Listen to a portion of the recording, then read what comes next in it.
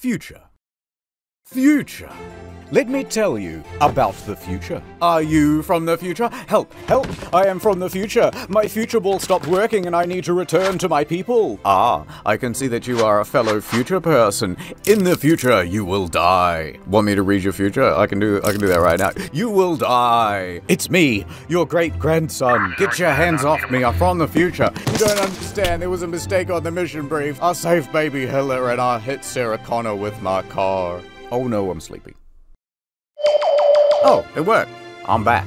Anyway, a gun. Bang, bang, bang, bang, bang, bang. This and more on In the Field. Did you see that video where it's like metaverse shopping in Walmart? I didn't see that. Are they bringing banality to the digital world? Howdy! Thanks for visiting Walmart. I will be your shopping assistant module today, but you can call me Sam for short. Ugh. Now it gets way worse. She immediately turns into a hall monitor. Your age has already been pre verified through your profile. You can buy it's been verified through your biometric blood analysis. Are you sure you want that? What are they gonna do? Like, so the thing is, if you were too young to buy it, this would instantly become how do I figure out how to like break the game? You know what I mean? There'll be people yeah, lying oh, lying yeah. down in their VR suits to get behind the map. Yeah, you got to get three of your friends together to stand on top of each other in VR. So you're like, oh, your height has been verified. It's 17 feet. You must be clearly old enough to buy this wine. immediately you hear um the summoning salt music. Yeah, so I beat Walmart in 36 seconds, 0.27. Start here with the wall glitch, and then you buy 1.6 million gallons of Doing milk. like the backward backwards cart jump to speed up your fucking That's it. glitching through the ground. Yeah. So as you can see here, I've uh, refunded 9 million packets of cat food, and it's all gone directly into my bank account. Uh, I Amazon price matched at record speed. yeah, You know what I love about this whole thing is it's like, isn't this just Amazon.com with extra steps? Yeah, and with this like annoying lady who's preventing you from like listening you to know, yeah. music or whatever in the background. She's just like, We've already pre measured your penis. We've determined your condom size is small. I noticed you bought nacho cheese Doritos. Would you like me to warp you to the nacho cheese aisle? Don't worry, I'll do it anyway. It gets way dumber. It looks like you already have a full gallon of milk at home. Should we put this one back?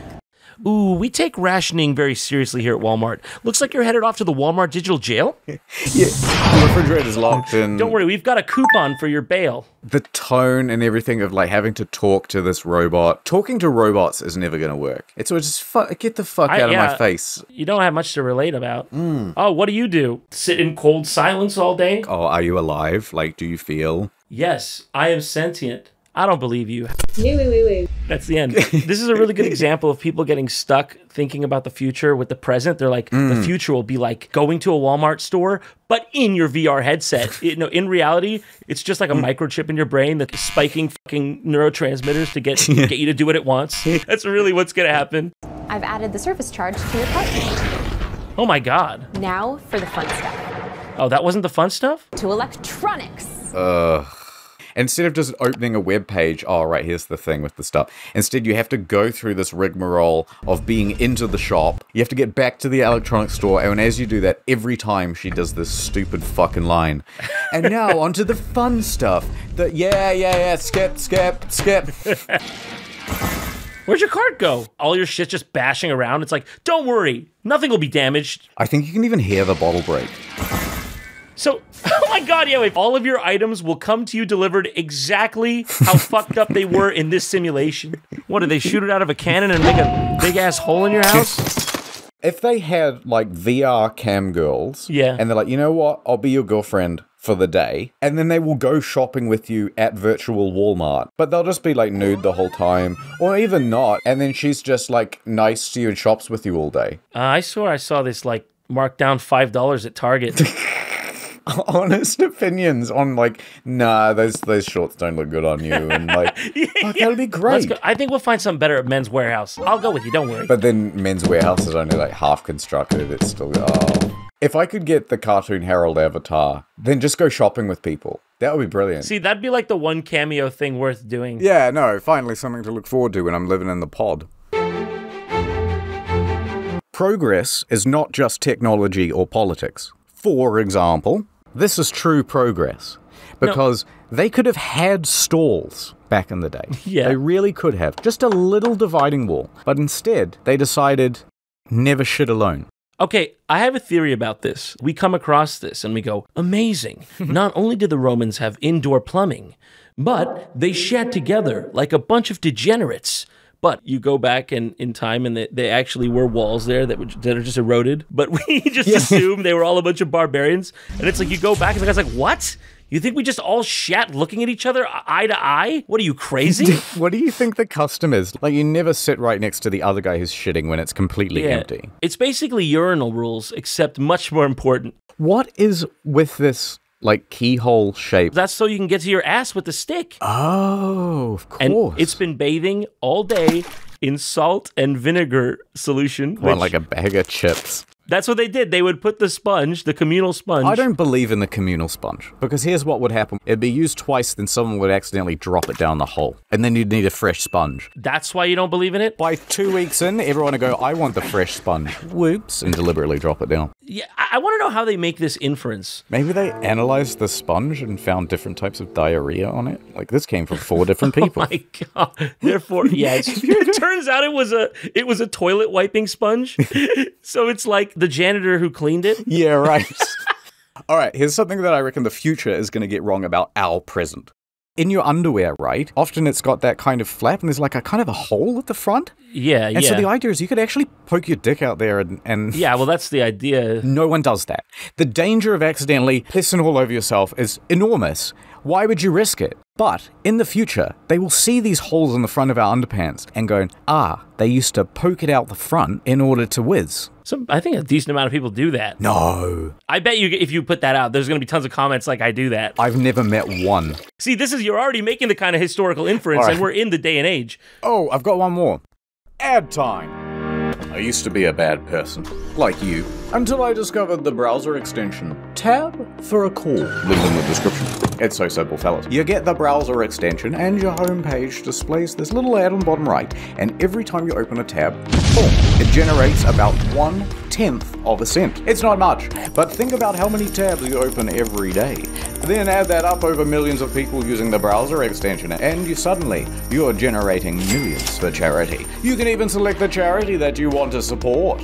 I like Team Seas because they're busy removing all the plastic that mysteriously ends up in the ocean. Got a little greedy there, didn't you, fella? And the Nobel Peace Prize goes to. Holy shit, that guy. It's well, it's about time. So go to the link in the description. Get the tab for a cause browser extension. Did I mention it's free? You don't want to be a bad person, do you? Why not be a good person? Tab for a cause. It's a low effort, free, and convenient way to undo all the dickish things you do on a daily basis. And ironically, you know, when you see someone post and it says, like, I think kids in Africa should have food and it gets 100,000 likes, it's that level of effort, but you're actually doing something. Ad over. Have you seen pyramids? I've seen Pyramid. It originally looked like this. It was white and it had a gold top, right? Yeah, I mean, this is your personal account. There are so many things you can do with something as big as that and smooth as that. And number one is a big slide. You know what I mean? And uh, you're just making a assumption that it was not that. that would have been the best rite of passage for the Egyptians. Like, okay, A ride of passage, perhaps. hey, Oh, you can't do it with the Aztec one. It's all steps, bump, bump, bump, bump the whole way down. I always wondered if, like, you went to the past and you, like, just talked to one of the people who made these things. They're like, what? this?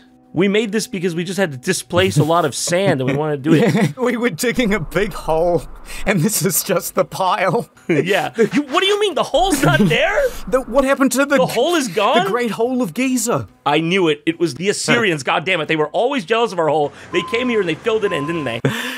Oh fuck me, Yeah. that's brilliant. It's yeah. And we're like, it was meant to point to the stars. See the bits on the side? Is that supposed to be hair? Well, it's a headdress for one, so it's just meant to be ornate. But to me, it looks like a like when a cobra like uh, rears up, Oh. and it has a snake on the top of his head. So I figured it was a cobra. That makes perfect sense. Yeah, I never really thought about what. Okay, what's what's up with the beard then? Because that's a lady. Is that a lady? Well, yeah, That's for the pharaoh, isn't it? yeah, but it's a she. The Sphinx is a lady. Is it? Are you sure? I mean, I, which is a woman. Oh, excuse oh, me. what the Unlike the, the, Greek Sphinx. That's a That's the the Greek Sphinx, uh, typically shown as a woman. Egyptian Sphinx, Chad. I always thought it was a woman. Yeah, I mean- look at the makeup. No, you're. It's just his beautiful lips that you dream about kissing. Yeah, but the giant beard might have given you a clue. How would you feel if you were the one who had to chisel like the boobs onto a Greek Sphinx? That'd be awesome. Like y- your job is to chisel gigantic boobs out of the side of a mountain face. You, you got to pretend you don't like it. You got to be like, oh man, no, that job. I'd like nestle between them and be like, It starts to break apart on its own weight, so they have to construct a giant bra. the back. you are charged with motorboating a crack into the rock face. How do you plead? I did it. I fucking did it. And I'd do it again. All right, well, let's Google a bunch of rites of passages then. Here, this is the list of the 25 craziest rites of passage. Oh, wait, here's a good one. The Okrika tribe of Nigeria believe that young women form romantic relationships with water spirits during their childhood. To end their love affair with the water spirit and get married, young women must perform the Ira ritual. The Ira ritual consists of singing songs by the river for days on end, during which the river makes one last attempt to capture their lover, Damn girl. and then they are rescued by their suitor husband. That's really sweet. I like that. Do you ever think uh, they get like a text? I know you are talking still to that water spirit. I know it is him. I picked up your phone the other day. It was dripping. I saw a number I did not recognize. I pick it up. I put it to my ear and I'm hearing the ocean. You are still in love with him. Four times a day you are getting water from the well. You only sang by the river for four days. You said you are tired. I know it is because you love him. That's not sweat on your collar. it's, you know what? It is true. Is that the water spirit coming from behind? Puts his arm around your girl. I love that. I love the idea of this boyfriend is jealous of Yeah, the river. yeah. What does that mean then if you're like washing your ass in the river? If she drinks a glass of water, mm. Mm. you know, it's like he's inside her. Oh. You just gonna let that stand? Okay, all right, moving on, moving on. Yeah. Three. Foot binding? Well, I wouldn't want that to happen to me. Hold on, I actually got a theory about foot binding. Yeah. Supposedly, it's supposed to make the women look more dainty, you know, small feet, all that sort of thing. But Look at the beauty and the grace, like a ballerina. Ugh. The other idea is have you noticed that if you bend the foot like this, you essentially get something much more akin to a hand? And if you put two of those together, you, well, you could imagine what might happen if the emperor happened to be into feet. Is Do you sort of, do you sort of un- understand? I'm completely lost, but I'm entranced. It's about 11 p.m. on a Tuesday night, whatever. He's had a couple drinks. Yeah. The emperor comes in. He loves feet, and he's like, "Whoa!" You're saying the emperor would have a foot fetish? Yeah, it's a hand. Dude, look down there. That looks like Patrick Star. It does look like Patrick Star. SpongeBob, how'd they do this to me? I can't do a Patrick impression, apparently. SpongeBob, you're gonna be late for your job at the Krabby Patty. Come on, SpongeBob! I'm gonna be late for the emperor to fuck my face or whatever. I want to be able to print a steak. Yeah. No, well, they're already doing that. They're trying to make like lab grown meat. Yeah. But they're like, look, we're almost there. The only problem is every time someone tastes it, they go, yuck! I'd rather kill myself. Get me out of this facility. I didn't consent to this. It's funny when you look at all these food shortages. yeah. There's always one section that doesn't have any shortages, and it's all this vegan shit down here. It's true. It reminds me of that like morning television show where hmm. the lady brought her dog on and she was like, "Trust me, she's vegan." And then they brought out they're like, "Let's put it to the test." Hmm. and they put out like a bowl of meat and a bowl of like vegetables and the dog just like yanked the chain and immediately just started eating the, the meat like it never seen it before. Is there any bigger condemnation of your product than people would rather die than eat it? Food shortages. Food shortages. Who's leaving the one bread? Who's leaving the one Is that okay? There's something wrong with this, or No, that's what I want to ask you, right? You're in the store, Right. everything's gone. oh my god, All right, you need to eat. You walk up to the bread aisle, you glance side to side. There it is. There's that one bread right there. See that? why is it left there? There's probably nothing wrong with it, right? You gonna grab that bread? Everybody's got the exact same bias. Yeah. What's wrong with this one piece? There's probably nothing wrong with that bread. It probably it probably get you through the uh, the night because you are hungry. What could have possibly happened to What it? could have happened to that bread? Yeah, I think I would grab it, but then what I would do is probably like skin the whole bread, and then I would only eat whatever's in the center of it. Skin the whole bread. Yeah, you know, get rid of all the crusty bit on the outside because oh, someone's probably reached their hand and fooled around Literally, with it. who says skinning bread? We call that removing the crust. You absolutely. Is there something wrong with No, you? pretty much the whole world says skinning bread, except for Americans who are like, uh, "I'll have a drink of pop, please." I've got something for you on pop. Yeah. It's no longer just good enough to have regular soda pop, okay? It's got to have like a twist. I'm not sure who started this. Maybe it was Coke Hmm. with like vanilla Coke or Crystal Pepsi, whichever one came first. Yeah. And you know, even milk's getting into this with chocolate milk now. Can you believe this? Well, it's, so it's called Crystal Pepsi, Yeah. And that's like the see-through Pepsi. Yeah. They were like, take out the additive that makes that artificial coloring and just give it to them what it actually is. And people said, no, no, that's what it is. I'm not drinking that. Put back the carcinogenic coloring. Do you reckon that Pepsi is naturally colored? Do I reckon? I've never All they did it. was take out the food coloring. That's what it is. Oh, it's got one less ingredient. Give me a discount. it just proves how unnatural it is. I still drink it though. I figured they basically did this. I don't. I'm sorry. This was somewhere on your mind, and it somehow related to Crystal Pepsi. you know what I mean? No, I don't know what you mean, mate. Naturally, it's all brown because it's just brown and water, and then you pour it in the oyster tank, and they filter it out. Wait a minute. You're telling me you thought I'm not telling you that that's what I thought. I'm telling you that's definitely what happened. You know, sometimes when people talk about like dissolving a dead body and flushing it down the toilet, I reckon that would be really difficult to do. define difficult. So one time I clogged a toilet. Oh, we got to go backwards more. So I really no. I really need no, no, no. Yeah, give me the give me the groundwork. I see where you're heading. Okay, this Okay. one time I was living in this really shitty apartment and I didn't have a clothes washer. And so I had to go all the way to a laundromat. Now, at one point, I ran out of towels and I thought, well, I still need to shower.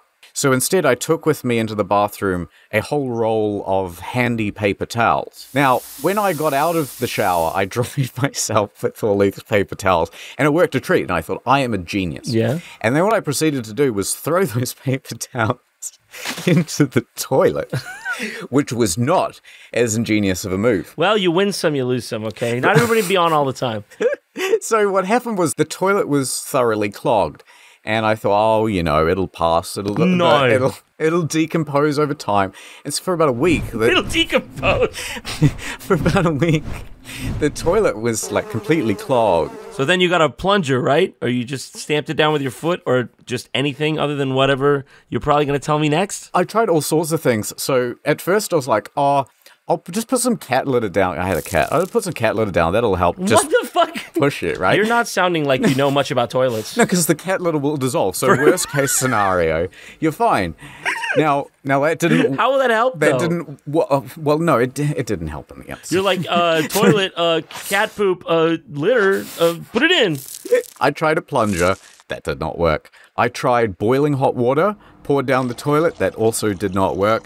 And so eventually, I thought, okay, So basically, it was a psychotic break. I thought I can call a plumber, and I've got no idea when they'll come out. I don't know how much I'll pay them and I can't be bothered. And this cat litter's right here. Yes, I will go the nuclear option, and I will go and buy a bottle of sulfuric acid that's used for melting and smooth and concrete, uh, and instead pour that down the toilet. It's incredible if you buy one of these things because, like, you open the cap and you can feel the acidity of the thing. Like, if you start pouring it out, really? you will actually feel the hairs in your nostrils react to it. It's incredibly corrosive, Yeah. incredibly dangerous. So bring that into your house. yeah. Uh, by the way, that didn't unclog the toilet at all, and instead Okay, that's what I was waiting for. a, a little bit got on the toilet seat and left a permanent mark. And so, are we going to get like a moral to the story, or you promised me we were just going to be sticking to talking about the future? I'm tired of having my methods questioned. I want to question you. Okay. Let's do some Q&A with JonTron. Hardballs question time, truth and facts. Yeah. Okay. Is that Jordan Peterson? Uh, l- listen, listen, I'm the one asking the questions around here. I heard that you have a wife. Is that true? Do you care to comment? Um, that's That's true. Yeah. How traditional of you. How, A, yeah. conservative, someone might say. Yeah, I mean, I couldn't help but notice that your middle name is Aryan. Is that owing to your pure white heritage? You're fucking with me, right? This isn't a real thing. You're such a bastard. Okay. yeah, no, that's really my middle name. Got him. And it is a Persian name. It's pronounced Aryan. Persian. You see, the Indo Aryans, Oh, the Yamnaya people, uh, is are, that made up? No. Look it up. Yum Nai. Okay, so the, the Yamnaya people, not Yamnya. is that them? That's them. And the ones who went west became the Europeans, and the ones who went east became the Persians. Iran actually means land of the Aryans, but it's not Oh meant. my god. It's yeah, I know, I know. You can't make it up. Oh, it's just going from bad to worse. It What's your- derives from like the third century Sasanian Middle Persian Iran. Are you reading the Wikipedia? I am now, uh, but I wasn't before. uh, anyways, I wasn't really listening to that explanation. I'll just I'll just shortcut and say racism. yeah, you, you proud of yourself? you proud of yourself? You smiling ear to ear? Listen, listen. I I fucking thought I, I'm, you right I'm now. here just to give the fair interview, just to just to Oh, that's lay what out this is. the This is the interview. This is just a fair, balanced interview. Look, there's no need to be so aggressive, John. You didn't even ask me my favorite like food dish or anything. What kind of interview is this? What is your favorite food dish? The crayon green. I like the way it looks. I heard Yeah, that you're dead. you. You promised you wouldn't go down this route. Okay, we had a chat beforehand. It was the one question that you. was off It was the one you knew, and don't tell me you forgot. Are we still in the interview? Have I walked out of the studio yet? Let me ask you this: Yes. Can you grow a full beard, or is this part Wow. of the, Wow. the JonTron character? Wow, that's all I've fucking got. That's all I've got. IH. Am I not allowed to ask you about the beard? I just feel attacked. All right, I won't ask you about the beard then. What's the worst question you get during interview? This one. This one. You've scored number one. All right, let me ask you then. Where do you get the inspiration for your videos? You know what? I. You know what? Where do I get the inspiration? Man, I'm not like. Fuck you. I'm not. In. You're not gonna. Are you putting these interview bits in? All right, well, thanks for coming to the Channel 4 interview. I hope that was perfectly balanced and fair. Channel four. That's all I get. Well, the other three were busy. That's the end of the video. Uh, we also have another collaboration coming out in a few weeks on JonTron's channel. Also, I have another channel called Storymode. It's a different type of content. You might like it. It ain't that different from the rest of the things I do. I've only got one idea. And do not forget about Tab for a Cause.